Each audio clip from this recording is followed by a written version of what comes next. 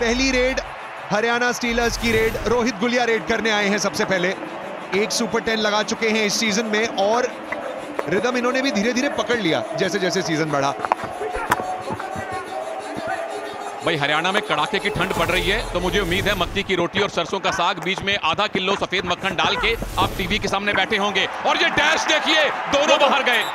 Raider भी defender भी। also. Out. Number six also. Bonus पीछे-. एक डिफेंडर आना चाहिए अपने साथी को कोर्ट में रखने के लिए। सुरजीत के पैर कोर्ट में रखने के लिए वो हुआ नहीं। एक्शन पैक शुरुआत पहली ही रेड में एक्शन पहली ही रेड में तमिल तलाईवास का डिफेंस लीड करा सुरजीत सिंह ने। छह बीस स्कोर था। ओ ये वापसी है प्रपंचन की। क्या सुपर रेड है? तलाईवास वाले भी बहुत देर तक इंतज़ार नहीं कर रहे. लगा था एक पलकों की सुपर रेड होगी लेकिन दो पॉइंट मिलेंगे लेकिन ये दो पॉइंट भी ज़रूरी।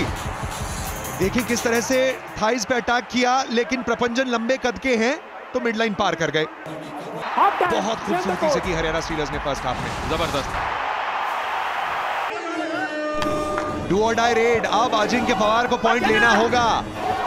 डू डाई रेड स्पेशलिस्ट बनते जा रहे हैं तमिल तलाईवास के लिए इस सीज़न और पॉइंट यहाँ पर नहीं ले पाएँगे। रोक लिया है सुपर टैकल हरियाणा स्टीलर्स. बहुत आत्मविश्वास मिलेगा इस सुपर टैकल से हरियाणा को। डिफेंस पहले नहीं चल रहा था। शुरुआत की नंबर 12 ने मोहित ने। 12, number 12. Number 12, please come. और उनको थोड़ी वार्निंग भी मिलेगी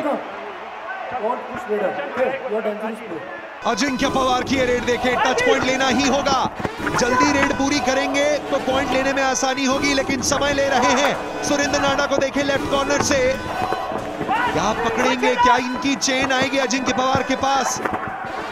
समय जा रहा है सुरेंद्र नाडा आए अजिंक्य पवार पॉइंट ले गए.